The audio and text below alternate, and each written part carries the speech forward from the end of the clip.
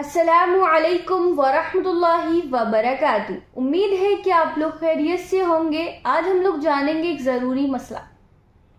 क्या हुजूर सल्लल्लाहु अलैहि वसल्लम के नाम पर अंगूठा चूम सकते हैं या नहीं? हुजूर सल्लल्लाहु अलैहि वसल्लम के नाम पर अंगूठा चूमना कैसा है? आइए जानते हैं मुफ्ती ए एम कासमी साहब से। मुफ्ती साहब ने इस पर क्या कहा है? आइए सुनते हैं।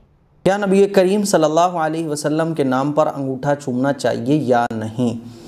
देखिए, अंगूठा चूमने के बारे में बाज़ लोग तो हैं जो बहुत शिद्दत इख्तियार कर लेते हैं। बाज़ लोग जो हैं वो बिल्कुल इसको ये कहते हैं, नहीं चूमना चाहिए। जो चूम रहा है, वो ये ना समझे कि जो नहीं चूम रहा है, वो गलत है। ठीक है, मेरी बात ध्यान से सुनिएगा। जो अंगूठा चूम रहा है, वो इसको ये ना समझे कि ये सुन्नत है।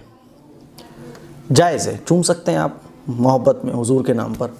जो नहीं चूम रहा है, उसको ये ना समझें कि ये गलत कर रहा है, सुन्नत छोड़ रहा है। बात समझ आ रही है? होता क्या है, जो चूमने वाले हैं, वो ये समझते हैं कि जो नहीं चूमते हैं, वो काफिर। यानी जो अंगूठा ना चूमे, उसको हम काफिर समझते हैं। बाज़ लोग ऐसे हैं हमारे माशरे में तो ये गलत है। जैसा कि अंगूठा चूमने वाली जो रिवायत है, ऐसी एक रिवायत मिलती है। उसको बाज़ मुहदसी ने ज़यीफ़ करार दिया है। बहरहाल कोई अगर चूम रहा है तो चूमता रहे। जो नहीं चूम रहा है तो वो भी गलत नहीं है।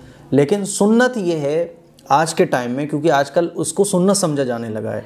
जो चीज़ सुन्नत नहीं है, उसको सुन्नत समझा जाने लगा है। इसीलिए जब ऐसा मामला है तो जो चूम रहा है, उसको आप बताएँ कि भाई ये सुन्नत नहीं है, क्योंकि बाज़ लोग ये समझते हैं कि वज़ू होगा ही नहीं। और अगर ना चूमो तो वो इसको समझते हैं, अगर अंगूठा नहीं चूमेंगे तो गुनाह है। तो ऐसा नहीं है।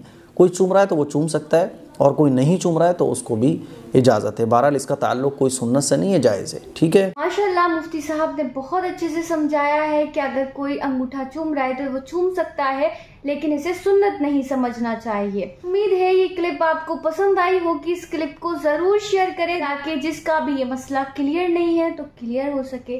असलकम वरहमल वर्क